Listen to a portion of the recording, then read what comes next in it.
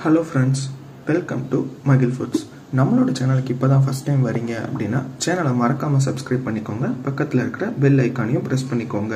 இன்னைக்கு உலகத்தில் இருக்க மக்கள் எல்லாருமே செயற்கையான உணவுகளை விடுத்து உடல் நலத்தை மேம்படுத்தக்கூடிய பா பாரம்பரியமான உணவுகளை நோக்கி திரும்பிக்கிட்டு இருக்காங்க. நமது நாட்டிலையும் நம்மளோட முன்னோர்கள் பயன்படுத்தின ஏராளமான உணவுப் பொருட்கள் கால மாற்றத்தினால மறைஞ்சு போயிருச்சு. ஆனால் அதில் ஆர்வம் இருக்கிற மக்களால் இப்போ அதை எல்லாமே மீட்டெடுத்துட்டு வந்துட்டு இருக்காங்க அப்படிப்பட்ட உணவுகளில் ஒன்று தான் கருப்பட்டி. இந்த கருப்பட்டி சாப்பிட்றதுனால என்னென்ன நன்மைகள் கிடைக்கும் அப்படின்றது இன்னைக்கு நம்ம தெரிஞ்சுக்கலாம். இந்த கருப்பட்டியில் கால்சியம் அப்புறம் சுண்ணாம்பு சத்து அதிகமாக இருக்குது நம்ம வெள்ளை சர்க்கரைக்கு பதிலாக இந்த கருப்பட்டியை கலந்து சாப்பிட்டு வந்தோம் அப்படின்னா உடலுக்கு கால்சியம் சத்து அதிகமாக கிடைக்கும். இதனால நம்மளோட பற்களும் எலும்புகளும் வலுப்பெறும். பெண்களோட வாழ்க்கையில் ஒரு முக்கியமான பருவம் பூப்படைகிற பருவம்.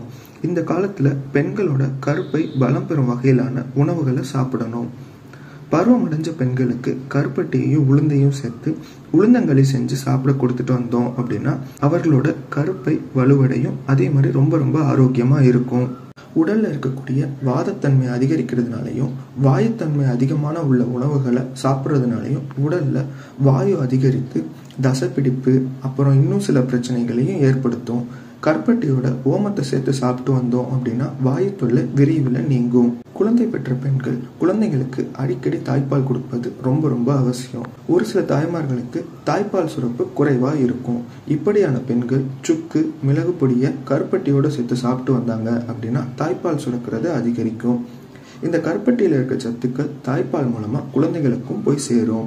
குளிர்காலங்கள்லையும் குளிர்ச்சியான உணவுகளை சாப்பிடும் போதும் ஜலதோஷம் ஏற்பட்டு மூக்கில் நீர் வடிதல் அப்புறம் இருமல் போன்றவை ஏற்பட்டு நம்மளை ரொம்ப அவதிக்குள்ளாக்கும். குப்பை மெனிக்கீரையோட கருப்பட்டியை சேர்த்து நல்லா வதக்கி சாப்பிட்டு வந்தோம் அப்படின்னா வரட்டு இருமல் அப்புறம் ரொம்ப நாளாக இருக்கக்கூடிய சளி தொல்லை முற்றிலுமா நீங்கும். நாம சாப்பிட்ற உணவுகள்ல இருந்து குடிக்கிற குடிநீர் வரைக்கும் அனைத்துலேயும் கொஞ்சம் மாசுக்கள் நிறைஞ்சிருக்கும். இந்த மாசுக்கள் நமது உடலுக்கு தீங்கு விளைவிக்கும். சிறிதளவு கருப்பட்டியில் கொஞ்சம் சுண்ணாம்பு சேர்த்து சாப்பிட்டு வந்தோம் அப்படின்னா உடலில் தேங்கி இருக்கக்கூடிய அனைத்து நச்சுக்கழிவுகளையும் வெளியேற்றி உடலை தூய்மையாக இருக்க வைக்கும். இதே மாதிரி வேறொரு தகவலோட அடுத்த வீடியோவில் உங்களை சந்திக்கிறேன். நன்றி.